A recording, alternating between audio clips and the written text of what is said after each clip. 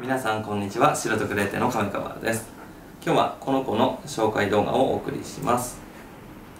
えこの子はアクセルとソフィーの、えー、子供で一人っ子。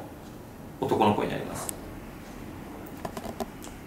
顔は、えー、アクセルに似た感じ。とても可愛い顔をしています。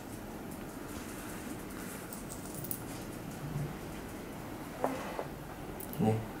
で色素ね爪も手のひらも真っ黒で差し毛も、まあ、十分ですね。で差し毛はこの顔の毛の辺りは多分抜けて、えー、綺麗なレッドになると思います。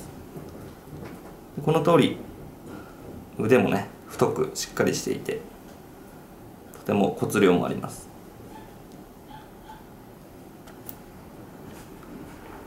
耳も、えー、大きいですしあの毛の感じもすごく、えー、長く伸びそうなそんな毛をしています。